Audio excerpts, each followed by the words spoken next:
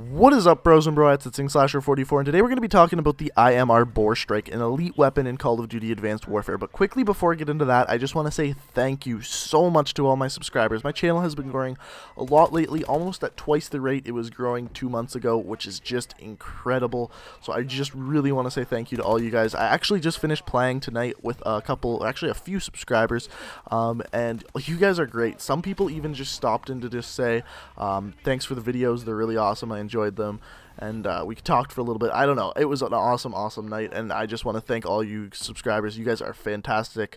Um, thank you so, so much. But let's get into looking at this gun.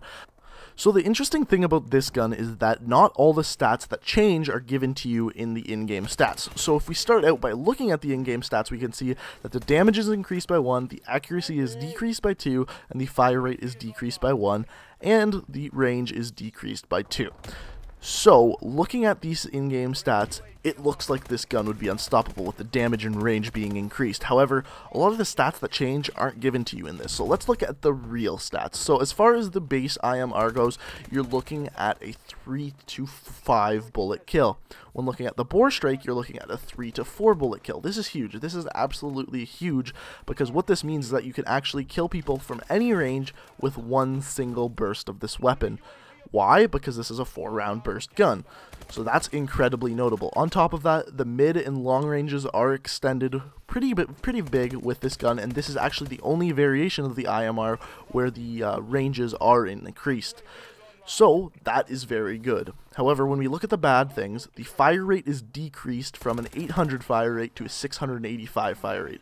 That's a really, really big decrease when you're talking about a burst fire gun. That's huge. On top of that, the fire time is increased uh, by 0.01, which isn't good at all. That means the time it takes for you to squeeze the trigger and for the actual gun to shoot in game is a little bit longer.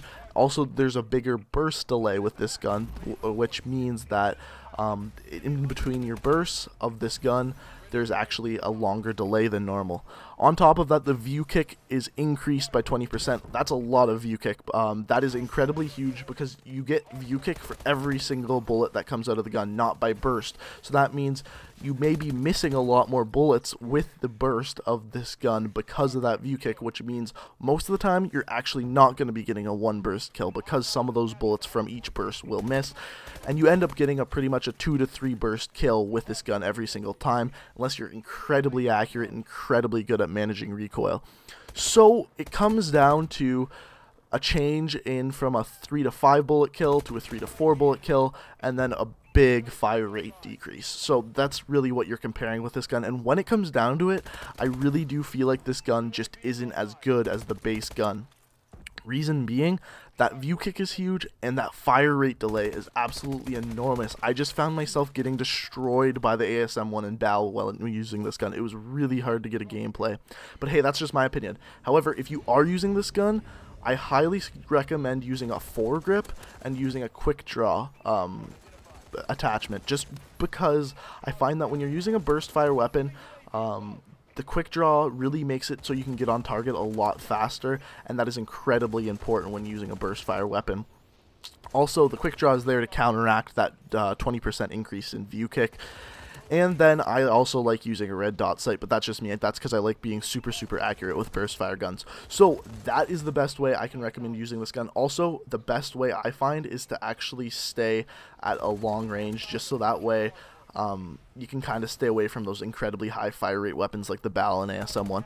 So that's what I think of this gun. Let me know what you think in the comment section below. I know a lot of you said in the supply drop video I put out that this gun is awesome and you guys love it. it just wasn't for me. I'm not the biggest fan of burst fire weapons. But let me know what you think in the comment section below. We've looked at the stats. If you guys enjoyed and found this informative, go ahead and hit that like button. Thank you to everyone who comes and watches my videos. And until next time, peace out!